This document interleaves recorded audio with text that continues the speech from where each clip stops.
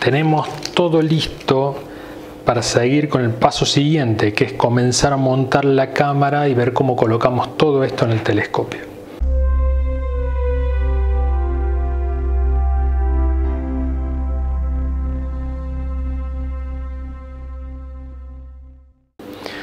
Entonces, para montar la cámara necesitamos estos tornillos. Yo voy a usar, como les comenté también, los dos largos y uno de los cortos. Pueden usar los tres cortos según la obstrucción que tengan acá atrás, pero ya lo van a ver poquito más adelante.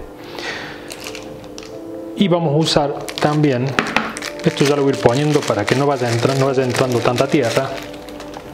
Recuerden, de este lado, de donde está la, la marca y lo azul, donde está el motor, va la cámara, así que del otro lado va el telescopio. Vamos a poner el adaptador a 2 pulgadas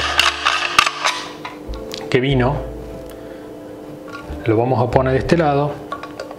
Si se queda tapado tenemos un lugar menos por donde puede entrar la tierra.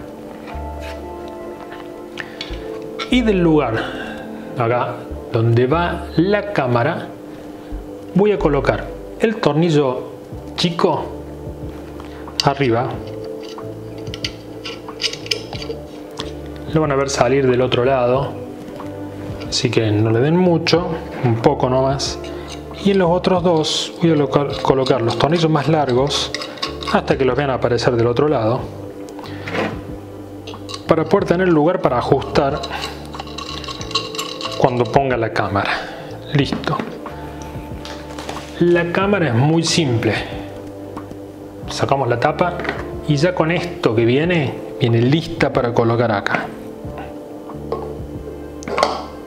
Es solo eso lo que tienen que hacer.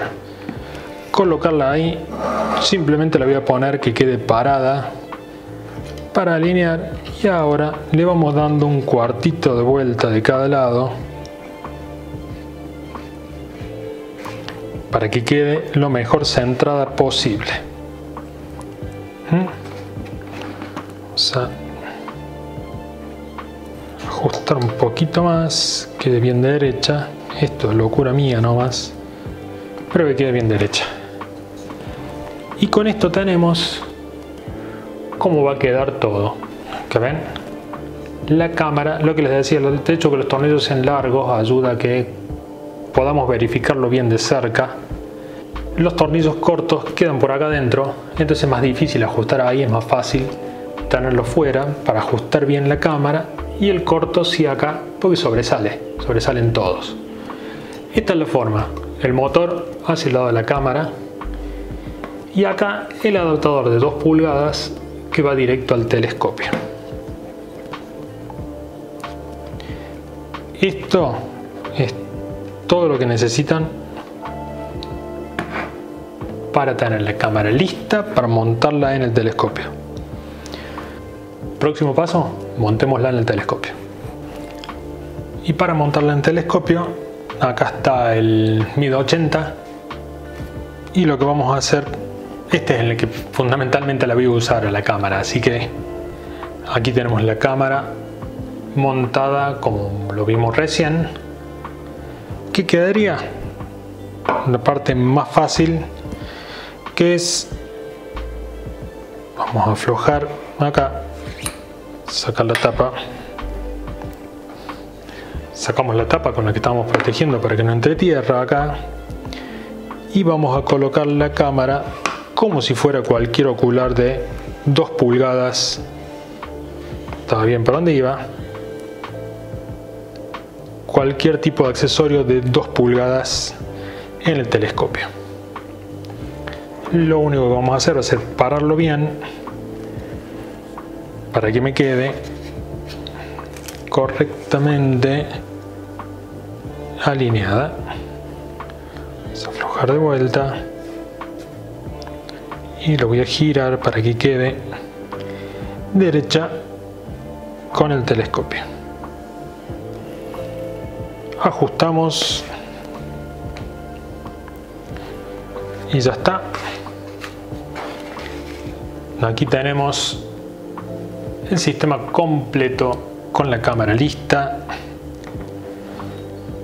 todo completito para montarlo ya nomás, ponerlo ya nomás en la montura y empezar a probar.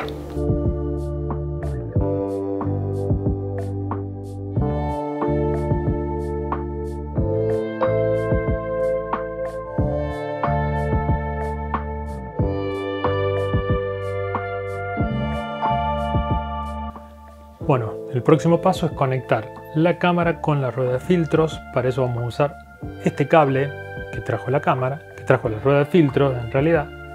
Y tiene por un lado una ficha que es como si fuera una ficha de red. Esta va conectada abajo en la rueda de filtros. Y la otra es una ficha con cuatro pines que va conectada en la parte de atrás de la cámara. No hay como agarrarle. Acá hay una sola forma de conectar todo.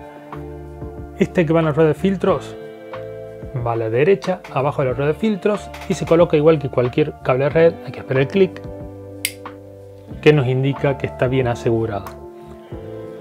Yo al cable le voy a dar esta vuelta simplemente para que no quede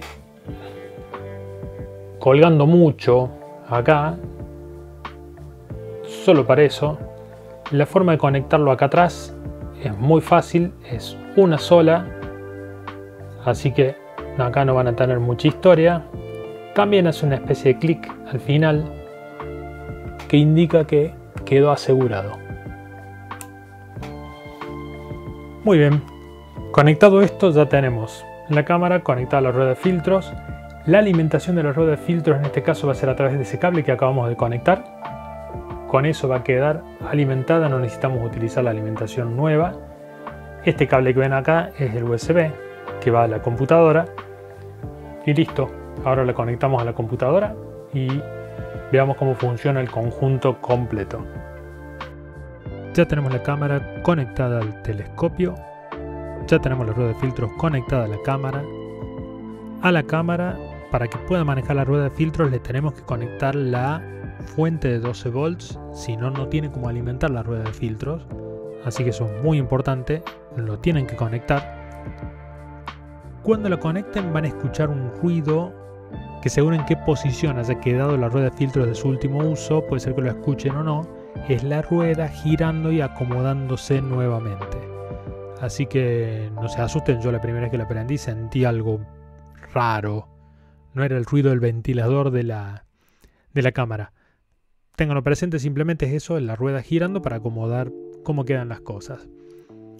Entonces, Repito, ya está la cámara conectada a 12 volts, con eso ya se alimenta, empieza a funcionar el enfriador de la cámara y empieza a funcionar la rueda de filtro. La rueda de filtros tiene un LED que les va a indicar el modo de operación.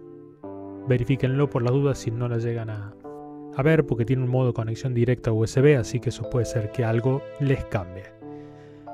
Bueno, yendo acá, simplemente conectamos el USB de la cámara a la computadora. Y acá vamos a conexión. Voy a hacer como si fuera la primera vez.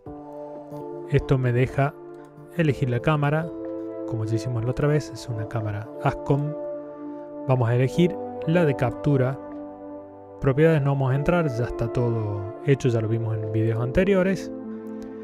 Y con esto ya se tiene que conectar ya tenemos que tener la cámara funcionando, se habilita todo, el enfriado, todo lo que ya vimos en los videos anteriores.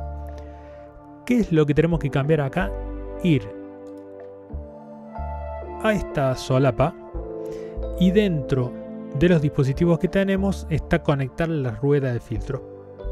Para la rueda de filtros no hace falta instalar nada nuevo, ya lo tenemos pero igual la primera vez es simplemente elegir la nuestra. Vamos a propiedades y aquí en propiedades, como yo ya la usé, esto aparece lleno. Normalmente aparecería todo en nada. Lo que tienen que hacer ustedes es, primero, poner la cantidad de posiciones que tiene la rueda, eso les va a habilitar esto. Y lo que pueden hacer después es cambiar el nombre de cada una de las posiciones y ponerle el nombre del filtro que hayan puesto en esa posición. De esa forma se va a corresponder lo que vean en la compu con lo que tienen instalado en la rueda de filtros. Ok. Ok nuevamente. Y ya tenemos conectada la rueda. En settings simplemente tienen lo mismo, no les va a dejar cambiar la cantidad, pero tienen lo mismo. Y van a ver que está en la posición luminancia, porque giró la rueda y quedó en el primer filtro al momento de iniciarse. Acá simplemente lo que pueden hacer ustedes es cambiarlo. Van a ver que se está moviendo y cuando lo deje fijo, ahí pasó al rojo. Es tan simple como eso o pueden venir directamente algún filtro directo por acá. Ya con esto ustedes lo pueden manejar. Está todo listo para que ustedes empiecen a hacer su fotografía. ¿Qué les va a cambiar acá? Que cuando hagan el plan, yo este como verán ya lo cambié, van a tener que poner una entrada para cada filtro que lo tienen acá al fondo que necesitan. ¿Sí? El filtro lo ponen acá. Acá no muestra apt los valores que uno carga en el driver ASCOM. Estaría buenísimo que diga luminancia, rojo, verde y azul. Así que acá se lo van a tener que acordar ustedes.